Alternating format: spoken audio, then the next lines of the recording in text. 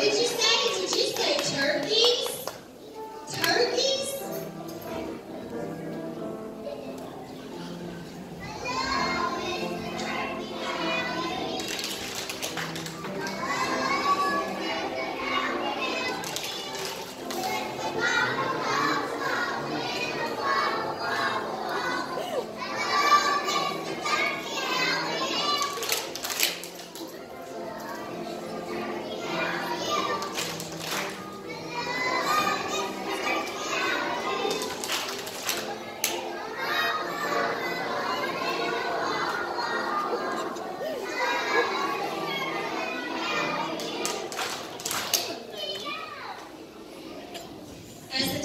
learned, these two groups of people celebrated a huge feast together. They each did their separate jobs.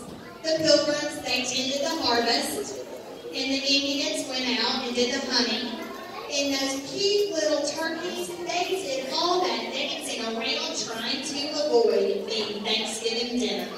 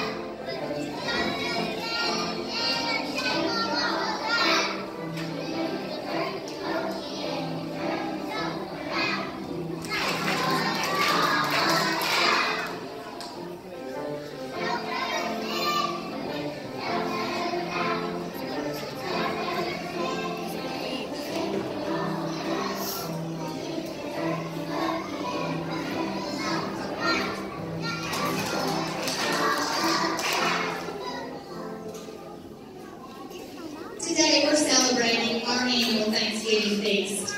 Just like